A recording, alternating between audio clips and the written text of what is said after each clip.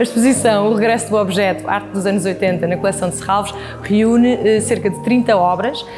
um, de escultura, pintura, mas no fundo uh, trabalhos que surgem num espaço de ambiguidade entre ambos, de artistas que iniciaram os seus percursos ou sedimentaram os seus percursos ao longo da, da década de, de 80. São trabalhos que, de alguma forma, um, por um lado,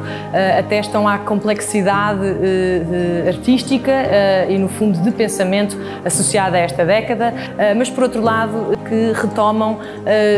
investigações artísticas anteriores e, no fundo, abrem, uma, para, abrem o panorama para uma multiplicidade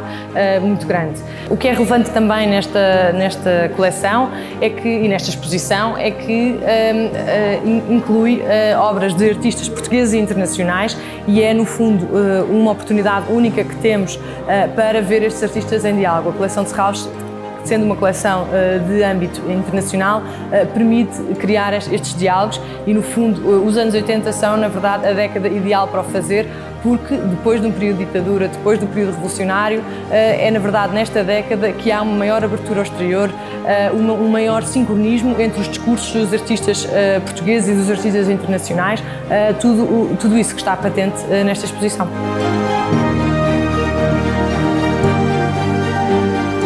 É uma grande honra para nós ter uma exposição com a, a qualidade e a chancela da Fundação de Serralves e esta forma democrática e descentralizadora de fazer cultura deve merecer nossa, o nosso reconhecimento e o nosso agradecimento. Na qualidade de Presidente da Câmara Municipal de Espinho, quero agradecer à Fundação de Serralves por ter eh, escolhido o nosso município para, para esta exposição. Convido todos os espinhenses para visitar esta exposição aqui no Fórum de Arte e Cultura de Espinho até o dia 8 de janeiro.